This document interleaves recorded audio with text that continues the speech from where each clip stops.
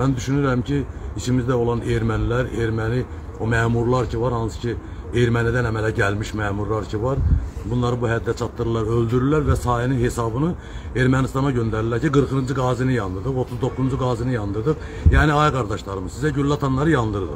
Ucar rayonundan olan 1-ci Qarabağ müharibəsi qazisi Nazir Həsənov özünü yandıraraq intihara cəhd edib. 5 saylı Bakı şəhər klinik xəstəxanasının yanıq şöbəsinə yerləşdirilən qazinin vəziyyətinin ağır olduğu bildirilir. Qazinin qardaşının sözlərinə görə o özünə maddi ehtiyaclardan dolayı qəsd edib.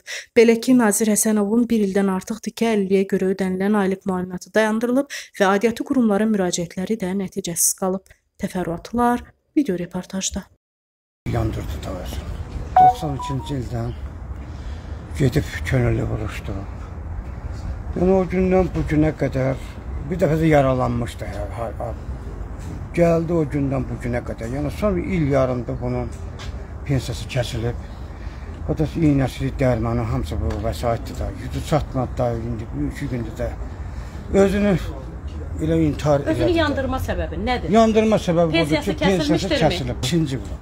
Heç müraciət etmişdim o pensiyanı kəsilib. əlbət ki, edilib dündə olsun ki, yəni bugünkü günə qədər heç maraqlanan da olmayıb. Ya olsaydı yəni bu dərəcəyə gəlib çıxmasın. Yəni polis işlərinin gəlmişdi, izahat aldılar, getdilər, yəni bizə də məlumat dedi ki, nə, nə cür yandırıb bizə sizə dediyimiz kimi bizə dedik. Qazimizin neçə övladı var? İki. İki evladı var. Hal-hazırda bir evladı bugünkü gündə vayennədədir. Hərbiçidir. Hərbiçi, bəli, hərbiçi. Hərbi xidmətdədir yoxsa Yox, hər, hərbiçidir? hərbiçidir. Atası da belə, yəni vətənpərvər gəl olubdu, gedibdi, yəni. Vallah, nə bilim. Allah kömək olsun. Əlilliyi təyin olunmuyor, incidirlər, problem yaşayırlar. Yəni problemi ilə bağlı heç bir qazi istəməz bugünkü gündə. Yəni ən azından baxılmalıdır, qayğı duyulmalıdır. Yəni beləsinə getməz vallah. Allah şəfa versin sənin qazilərinə. Vallah, boğazdan aşağı bütöv yanıbdı. Bütöv yanıb. Harda yandırıb özünü? Evdə, Həyətdə. həyətdə. Həyatda. Valla çox həm dərin, həm yəni başa düşülməyən bir məqamlardır. Yəni insanlar adamların artıq 50 yaşları var, 50-ni keçmiş insanlardır. 20-25 il adamlar pensiya alıblar. Bu gün qəfildən onların pensiyasını kəsirlər. Adam bu yaşdan sonra nə ilə məşğul olsun? Adamın biznes qurma zamanı deyil, adamın fəhlə işləyən zamanı deyil. Adamın fiziki gücü belə tükənib. Adam adamı yəni bir növ bir ölümə sürükləyirlər, intihara sürükləyirlər. Əlbəttə indi bu e, təbii ki, e, bəzi dövlət qurumlarının içində işləyən və mənfur ermənilərə xidmət edən məmurların e, nəticəsidir bu hamısı.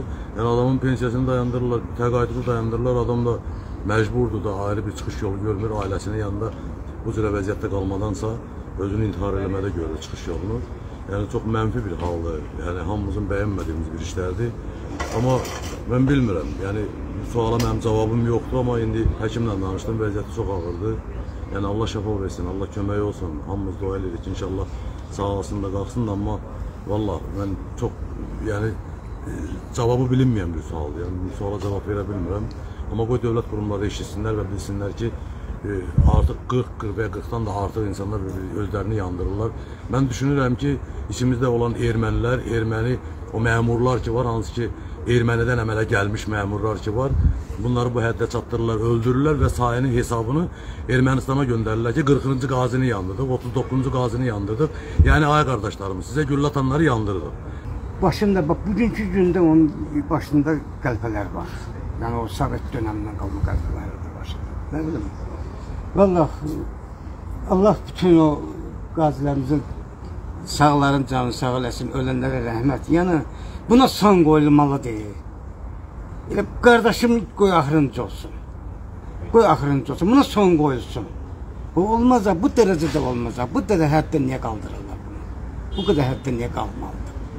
Niyə qalxmalıdır? Bax niyə? İş qüvvəsi yoxdur bu adamın iş qüvvəsi yoxdur.